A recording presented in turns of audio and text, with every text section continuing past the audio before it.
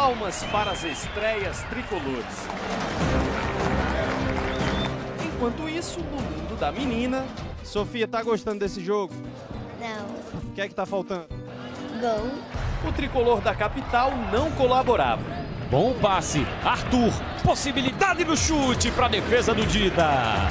De bola parada estava melhor pro Arthur. Uma boa jogada teve início lá com ele. O Arthur, bola levantada, fechada, de novo ali ajudando o Val. Pegou de primeira e terminou mandando para fora o Robinho. Na cobrança de falta, a bola foi mais venenosa. Bateu nela Arthur no travessão. O jeito caprichoso de bater na bola fez lembrar alguém que estava aqui no ano passado.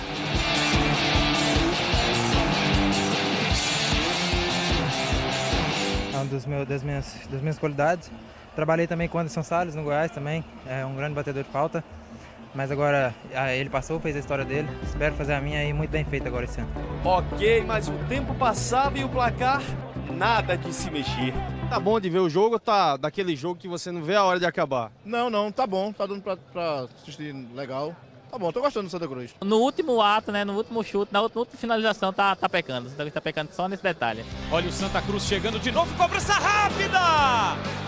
Perdeu o gol, Robinho! Pro tricolor das tabocas, estava ótimo. Pra gente, o 0 a 0 já era bom porque uma estreia empatando fora de casa é excelente. Nós queremos ver gol, né? Tanto faz de um lado como do outro, né? Quase que o Vitória atendia ao desejo.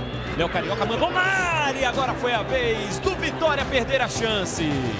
Subiu o Val Paraíba, que tá sangrando de novo. Eis o motivo da touca. Não tinha nada a ver com o Toró que caiu no Arruda. Para combinar com a chuva de gols. Perdidos. Jeremias manda a bola para trás, sobrou Augusto Dida! No segundo tempo, eu acho que ele vai ganhar. Aos nove minutos, finalmente a rede balançou. Depois de um chute de longe. Gol! Chute cruzado do Paulo Henrique, Jeremias estava no meio. E bateu pro gol, mandou no canto do goleiro Dida. Só estava no lugar certo na hora certa, né? O problema é que às vezes, quando o time está na vantagem, pode faltar concentração, disposição, principalmente quando do outro lado tem um adversário que também está querendo. O segundo tempo foi caindo ao decorrer, é, conseguimos fazer o gol né, no momento que a gente já não estava tão bem na partida. E depois acabamos numa jogada infeliz ali e mérito do adversário. Né? Felipe Almeida chega no apoio para o cruzamento. Gol!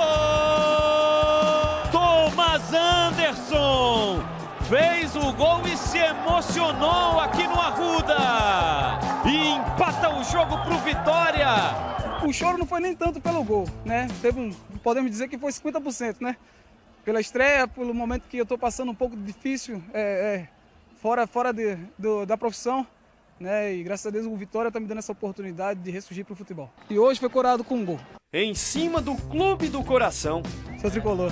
Ficou um sentimento especial para toda a equipe do Vitória. E um sentimento de missão cumprida. É... Logicamente a gente sabe que vai melhorar o ritmo de jogo na competição e esse ponto foi muito importante. Melhorar o ritmo. Para alguns tricolores, essa é a chave.